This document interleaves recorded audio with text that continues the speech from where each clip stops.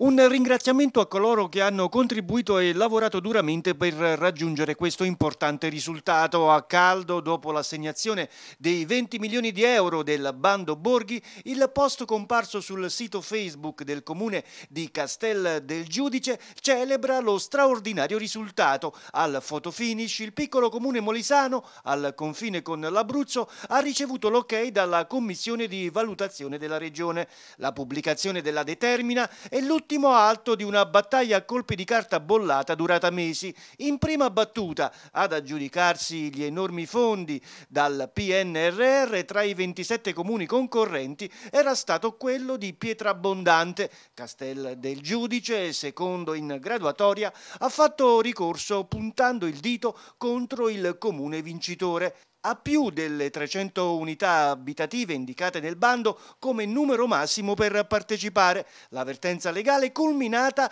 con la decisione del Consiglio di Stato che ha escluso proprio Pietra Abbondante. Di lì la palla passata alla Regione attraverso la citata commissione sciolta la riserva che intanto pendeva sul comune ricorrente, verificata cioè l'effettiva correttezza della perimetrazione del suo borgo storico. Il tutto qualche giorno giorno prima della scadenza del termine che il Ministero della Cultura avrebbe imposto alla Regione per indicare il vincitore. Ora, alla fine dell'estenuante querel, a Castel del Giudice si attende il varo del decreto del finanziamento da parte del governo. Intanto la parola d'ordine è rigenerazione parola del sindaco Lino Gentile. Vogliamo portare avanti un percorso che abbiamo avviato da tanti anni, un percorso di rigenerazione non soltanto fisica ma anche sociale, economica, perché siamo convinti che nei piccoli comuni c'è il futuro del paese e lo vogliamo sperimentare. Questa è una grande opportunità, abbiamo già un percorso avviato ma con i 20 milioni possiamo farlo in tempo molto più ristretto e con obiettivi anche più ambiziosi.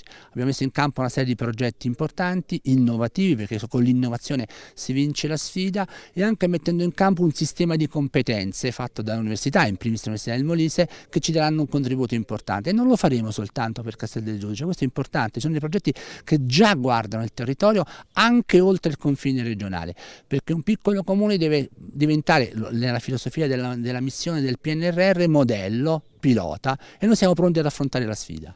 Un pensiero anche per il comune competitor. Per Pietra Abbondante c'è un'altra strada, dice ancora il primo cittadino. Per Abbondante è un progetto paradossale che la maggior parte del finanziamento per Abbondante andava su un sito dello Stato.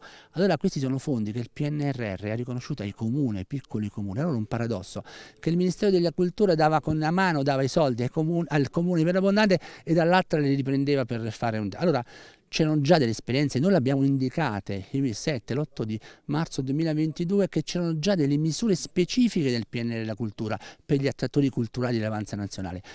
L'abbiamo indicato, spero, lo, faccio, lo faccio con grande volontà, con grande partecipazione che per Ramondante possa acquisire queste risorse per gli attrattori culturali e quindi possa completare anche il loro progetto, che sono assolutamente compatibili, perché non era coerente con la misura del PNRR.